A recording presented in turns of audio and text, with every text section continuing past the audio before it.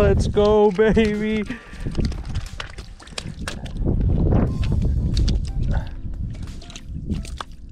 The crankbait, I don't know what it is, but when you throw a Rapala, it just works. The Shad Rapala just works. That's a beautiful fish, even though he's all covered up. I'm sorry, but he's gonna be for dinner. Gentlemen, a little update at Los Vaqueros. Carter has one on the power bait. I got one on a crankbait. We just switched to bait, so we got three chovies and I believe one power bait. So that's a little update for you. Hell yeah. Whoa. Feels like a good one actually. This is a striper. He's coming straight up. Dude, are you kidding me? That's what bit? He was fighting so hard. That's crazy. These striper are fun though. I love this rod. So we're gonna hook this guy up for bait now. Slice him up.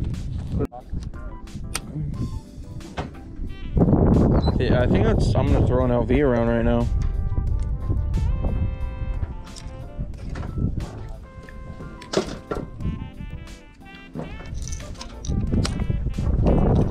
Kind of a dead day, yeah.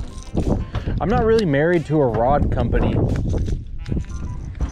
I just started like I'm I'm just now starting to spend money on rods though.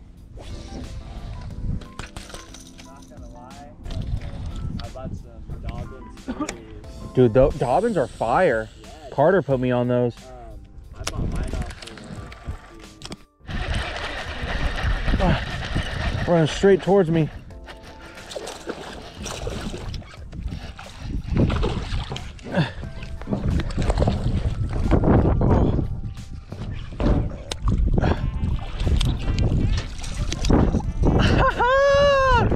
Boy, let's go! He smashed that thing on an LV in the mouth. Let's go, baby. That's what I'm talking about. Check that out. Who needs to buy meat when, you know, you got rainbows in there? Check on it out. Ice, on ice. We got three in there so far. Let's go, baby.